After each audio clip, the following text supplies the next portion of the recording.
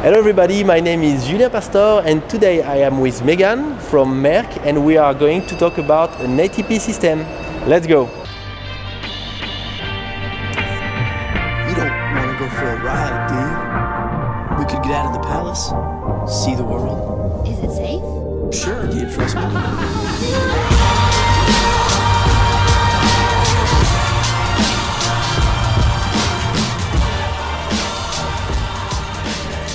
So Megan, uh, today you will explain to me how work your ATP system from Merck.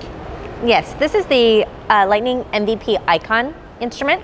Um, it's an ATP system, but also has the ability to test for other parameters, um, Okay. HACCP driven parameters. So, for example, not only does it do ATP testing, but it also tests for conductivity and concentration, Okay. temperature, and pH. Wow, so multi-parameter device, I would say. Correct. Looks really small. That's a very good design. You said to me that maybe that's the third generation of product. That's yes. right? So the original Lightning instrument was one of the very first ATP instruments on the market. Um, this is the third generation now, the MVP Icon, um, and they have progressively gotten smaller in size. Also, I can see that you have a, a big screen. What what do we have on it? It's a, a touch screen. Do we have the, a map? I don't know. Yes, so in the screen itself, it's going to show you your sample plans. So you're able to see all of your test points separated out, uh, nice organization, being able to select them based on um, location in the plant or equipment, and then within those sample plans, they'll have the individual test points.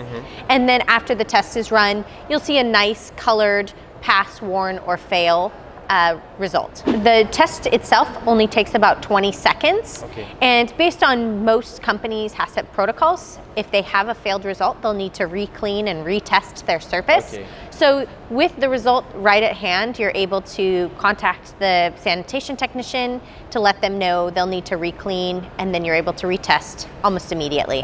Compared to the, the competition, because on the market there is a lot of ATP system, uh, why should I choose the MVP and uh, MVP icon? Sorry. Sure. So the MVP icon, um, one of the biggest differentiators for it, um, aside from its long history as a trusted source for ATP testing, um, we do have a really great swab design Okay. that uh, is different than others on the market. Um, our swab, the luciferin and luciferase, um, are located in the chamber along with a neutralizing proprietary buffer. Okay.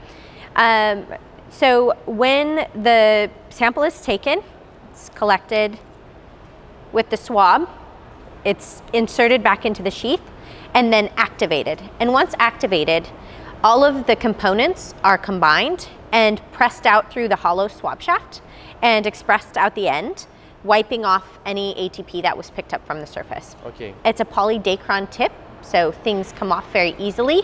And then the instrument itself is only looking at the liquid in the bottom. There's no shaking required, uh, which is a big differentiator compared to other swabs on the market. So this kind of thing is pretty small. You can grab it uh, everywhere, but uh, you need two hands to, to do the, the, the sample thing, the swabbing. Yes. So what, what should I do with, with this? So the instrument actually has a neck strap that comes with it that clips on right here. Good answer. And then you can wear it in front of your chest or you can hold it off to the side. Um, it also does have a stand, so it can be stood on the surface um, near you. You mentioned that you can add as well other probes, like what, for example? So we have three separate accessory probes. One of them is a conductivity probe that also, using an algorithm, can give you a concentration in parts per million reading um, of your chemicals or sanitizers. We also have a pH probe um, that allows you the mobility to go out in the plant and test for pH versus having to take your sample, bring it back to the lab, and run it there. Um, and then the third probe is a temperature probe. It can be used to, it's a long um, metal probe, so it can be used to reach deep into liquids or semi solid uh, products. And then I'm coming back to the to the computer.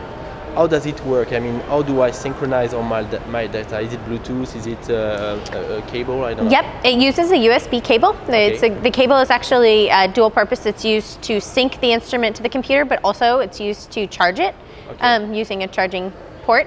Um, once you have your instrument connected to the computer and the software open, it will automatically prompt you to sync Um, once the information is synced, then within the software itself, you can manipulate um, your graphs and your reports depending on what you want to look at. Uh, the software itself is typically kept on a shared drive. Mm-hmm. So even if there is a corporate director, maybe they are not located on site, they can also access the information to look at the software and the data that's being generated without having to um, bother the, the sanitarian mm-hmm. at the plant. Sounds good. Uh, I don't have any more questions. Thank you very much for all this explanation. Uh, I hope this video has been uh, useful for you. If you have any question for Megan or for myself, please uh, leave a comment below this video. Thank you very much and bye.